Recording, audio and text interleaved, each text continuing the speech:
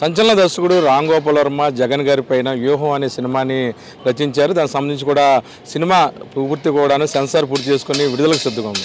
ఈ నేపథ్యంలో free release event శనివారం నాడు అంటే రేపు ఇందిరాగాంధీ మున్సిపల్ స్టేడియంలో నిర్వహిస్తున్నారు. దీనికి సంబంధించి ఏర్పాట్లు పరిశీలించడానికి విజయవాడకి ప్రత్యేక విమానంలో రామ్ గోపాల్ వర్మ వచ్చారు.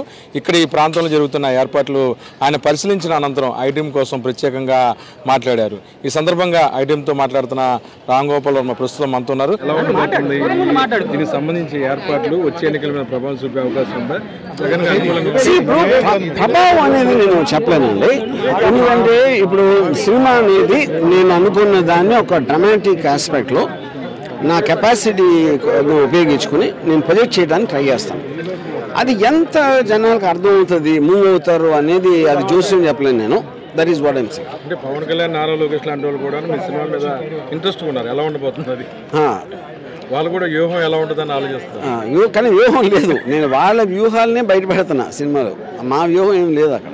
ఎంతో ఇంట్రెస్ట్ మాట మాట్లాడారు. బర్రె లెక్క బర్రె లెక్క. ఏంటి ఈక్వేషన్స్ అదే అండి ఇప్పుడు- నా పాయింట్ ఈ అసలు కానీ మనకి ఊరు పేరు తెలియని ఒక ఆవిడ ఆల్మోస్ట్ బర్రెల్ని కొంచెం బర్రెలు కాపుదారి ఏమన్నా అంటారు. బర్రెలు చూసుకునే ఆవిడకి వచ్చిన ఒక ఎక్స్ట్రాడినరీ గుర్తి. ఆ, గుర్తింపు కానీ అదే చేసింది. ఇంత పెద్ద స్టార్ అయ్యి ఉండి బర్రె లెక్క వేరే వాళ్ళ కోసం పనిచేయటం అనేది నేను జీర్ణించుకోలేకపోతున్నాను. ఎందుకంటే నేను జనసేనలో లేకపోవచ్చుగా నేను కూడా పవన్ కళ్యాణ్ ఫ్యానే.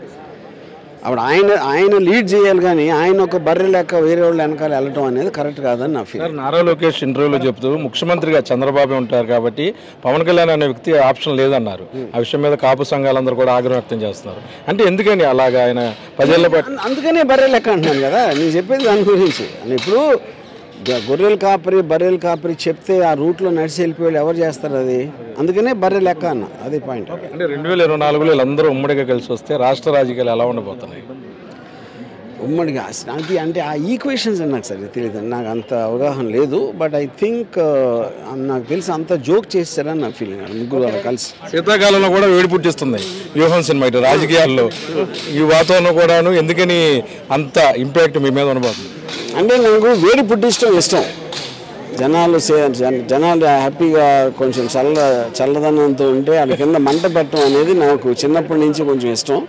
అది ట్రై చేస్తాను మొత్తమే కూడాను ఆంధ్రప్రదేశ్లో రాబోయే రాజకీయాలు చాలా ఇబ్బందికర పరిస్థితులు ఏమి ఉండవు. ఖచ్చితంగా పవన్ కళ్యాణ్ కావచ్చు ఎవరెవరు కావచ్చు ఎవరు కూడాను జగన్ని ఢీకొనే శక్తి లేదని చెప్పి చాలా ఓపెన్గా చెప్తున్నారు ఏదైతే సంచలన దర్శకుడు రామ్ గోపాల్ వర్మ. వీడియో జర్నలిస్ట్ విజయకృష్ణ కలిసి ఐటమ్ కోసం